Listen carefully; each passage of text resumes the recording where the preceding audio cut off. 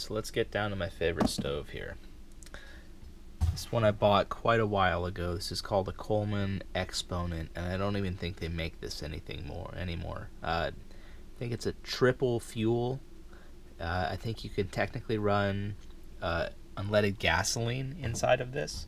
I've never would and would not try that. Uh, I do run this Coleman. It's white gas, basically, I guess. Uh, very good fuel. Uh, that's what I do run in it. This one also had a burner that came with it that would allow you to run kerosene, which I've never run inside of here, but that's nice that you could. Uh, so basically, has a little, basically a little bowl.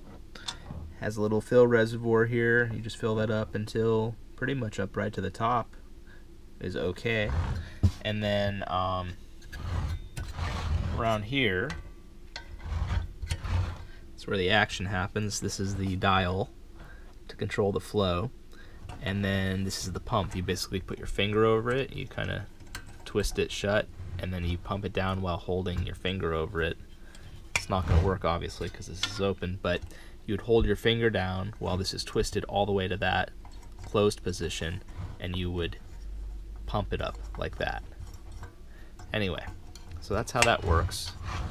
Very convenient, very easy. It actually does have a fair bit of adjustability.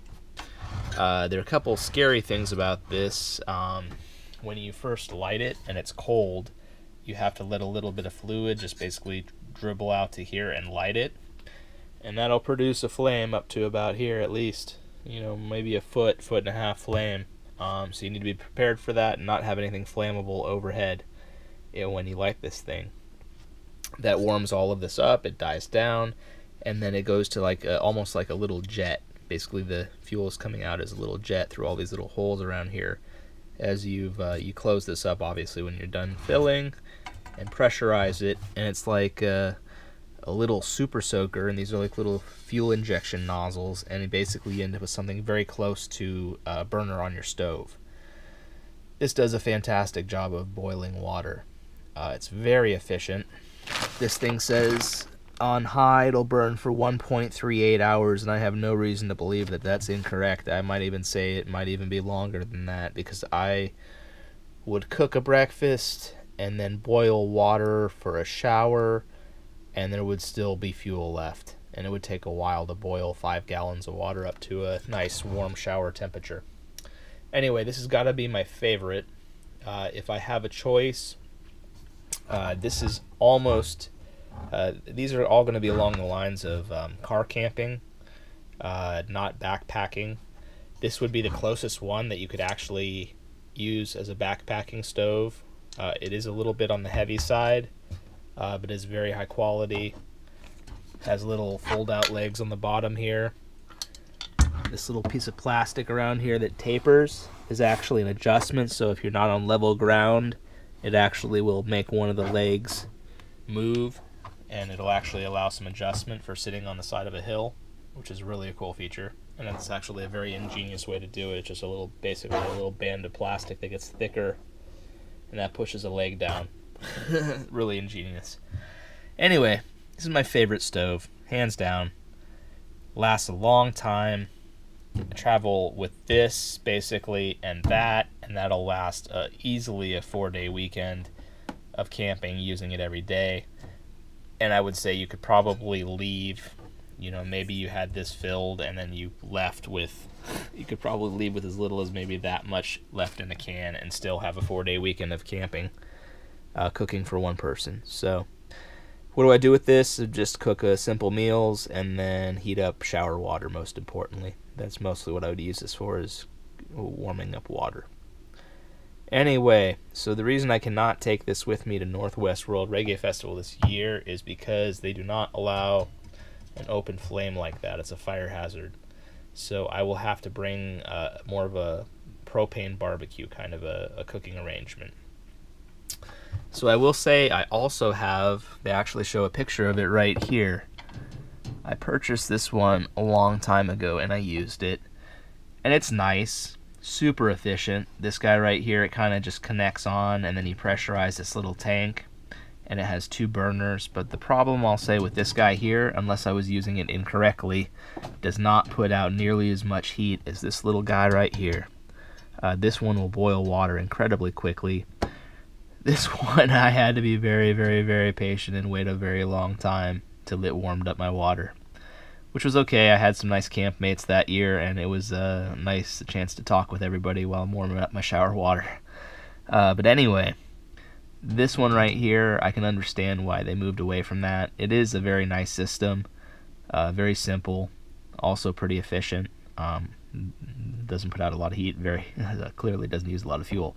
Uh, but anyway, this one not as effective as this guy here. This one is actually like a burner on your stove at home. Really incredible the amount of heat this guy will put out. So they do have a dual fuel Coleman I don't believe the Exponent is available anymore, but they still offer a dual fuel. I would recommend you pick it up. It's a great little stove. I would use this thing for um, quite a long time. You see how it's uh, very carbon, got a lot of carbon built up. Uh, boiling water, you know, for almost 40 minutes at a time. Gets super hot, but never had any problems with any uh, safety issues. I love this stove. If I was allowed to have an open flame, this would be what I would be bringing up to Northwest World Reggae Festival this year. But I will show you my option that I will have to bring up for uh, not having an open flame. What you see here is what I will be bringing with me to Northwest World Reggae Festival this year to do my cooking and warming up my shower water. So what I've done is this has a regulator on the back over here and I've gone ahead and connected uh, what's called like I believe a bulk tank hose this one's made by Mr. Heater. Uh, maybe I'll include a link to uh, purchase this. I got mine at Walmart. You don't have to buy it online. Um, pretty cool. I like getting the ones that have this style right here because they're very quick to connect. Uh, there's other ones that you almost have to use. Uh, anyway, like a thread sealing tape. But this one right here just spins right on. No worries, real fast. So I'll bring a bulk, a bulk tank with me because that way I don't have to go through a six pack or more of bottles. This one has a simple uh, little lock right here that would lock it down for travel. Lift up. Has a little hole at the back here for lighting, so I'll just stick through a lighter and light it. Doesn't have um, push button ignition. Uh, the first one I had that I used to take camping with me, my first uh, Reggae on the Rivers, um, I think it was made by Blue Rhino. That thing was pretty big. I want to say, you know, looking at the handle over here, it easily came out just a ton. It was a big guy. Um, that was almost too much. It took up most of the trunk, and then uh, just to bring my cooking with me. But I would actually cook a really nice breakfast, and I'd bring uh, hamburgers and do do hamburgers and stuff, and that worked out really well. Used that a bunch of years. I used that as my home barbecue too, so much that um, you know all the marinades dripping through. I actually rusted through the bottom of it over time, so I had to retire it. So the one thing, I went on the lower end because I wanted something really small. I have pretty small hands, but you can see that this guy is not a big barbecue at all. Uh, probably, I don't know, 17 inches maybe at the most from the handle to the handle probably. Um, but really nice. Uh, what do I like about it? It's got the diffuser panel right here, which means um, you can cook things and not burn the crap out of them. Uh, it does appear to have a pretty good temperature control, although the one thing this barbecue is missing over my old um, Blue Rhino is the Blue Rhino had a nice temperature gauge here. So I might think about upgrading, although it adds so much to the cost of the barbecue to, that I might just go ahead and, you know, wing it. Uh, but you can drill a hole and add a temperature gauge of your own onto any barbecue, but you're going to end up spending probably 20 bucks or you know somewhere around there for the temperature gauge, and that's going to raise the price of your barbecue up. Anyway, so this is what I'm going to bring. Uh, it's plenty big. I'm going to bring a little pot of water. Uh, so I'll boil a pot of water on here. I'll be able to do some simple barbecuing. Kind of trying to formulate a strategy for this year's uh, reggae. Um, not going to have a lot of room to bring up a bunch of food. Uh, this guy's going to take up a lot of room. I'm going to show you my bed I have a bad back, as I've kind of mentioned before, and so uh, to go camping for four days, I actually bring a pretty nice bed setup. I might do a whole separate video about. So you got a bad back, you can still go to a music festival. but what do you need to do to uh, put together a bed that feels almost as comfortable as a real bed out in the woods? Uh, anyway, we're getting off subject here. This is what I'm gonna bring. Um, this is gonna work out just fine. I've already done some uh, kind of warming it up. This is the uh, product of uh, too many years of materialism. What I mean by that is uh, every birthday, every Father's Day, all of that. For years, the family used to feel obligated to do cards and gift cards and this and that. Uh, so this is the result of a birthday and asking for gift cards for Home Depot. so anyway, we've gotten away from that finally. That we no longer do adult adult gifts. So if that's something you want to try with your family, try floating that. that The adults no no longer need more junk. and uh, maybe for birthdays and holidays, you no longer give uh, adult gifts at all. So anyway, this was the last birthday that we probably did uh, adult gifts for everybody and this was my gift to myself uh, from the family. Um, anyway, so I haven't used it too much. This will be the first year it's going out camping. I've had it for quite a few years, but like I said, this is not my favorite. I have been bringing the other dual fuel because that that's just the coolest stove I've found and most compact and most most versatile. Um, I've gotten away from doing barbecuing, but we'll see how this works out. I'm gonna maybe bring up a couple hamburger patties, uh, do a little bit of barbecuing. Definitely gonna do breakfast. You know, it's easy enough to do breakfast. A lot of places like music festivals don't necessarily have a good breakfast option, so I'll definitely be doing uh, eggs, and it's real easy uh, to cook uh, barbecue. barbecue your breakfast. What I do is I get some aluminum foil and you fold it up and you make kind of like a little dish out of the foil Usually spray that down with some uh, oil or rub it down with oil, not on the barbecue, not near the flame. You don't want to have this blow up in your face with oil. But you put a kind of a coated aluminum foil, crack eggs into that, close it up. Does a real great job. It almost, um, uh, along the lines almost of um, poaching them, is how they come out.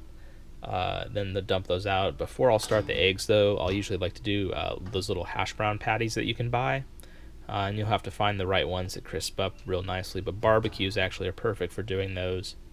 Again, so I didn't don't end up with a mess here. I'll lay down some aluminum foil. I'll oil it, lay the hash brown patty on that, close it up, and you'll be amazed. Actually, you're gonna come out with really crispy hash brown patties. So I do the hash brown patties first. Once those are ready, um, you know when they're you know, just about done, start your eggs, and then everything will be nice and warm. You can also, uh, no reason you couldn't do toast on here too. Um, it's up to you whether or not you want to barbecue actually here, and then there again, you could just have a little aluminum foil down, and you're just using this as a almost like a skillet. So anyway, there's no reason you can't barbecue uh, breakfast real easily.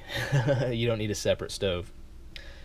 All right, so that's gonna be what I'm actually bringing this year for uh, for cooking and maybe we'll uh, cut the video here and then we will go to uh, what my strategy will be probably for like the kind of foods I'll bring and that's just from a decade of bringing the right kind of foods the wrong kind of foods wasting foods having foods get tainted in the cooler all kinds of weird stuff that happens over the years.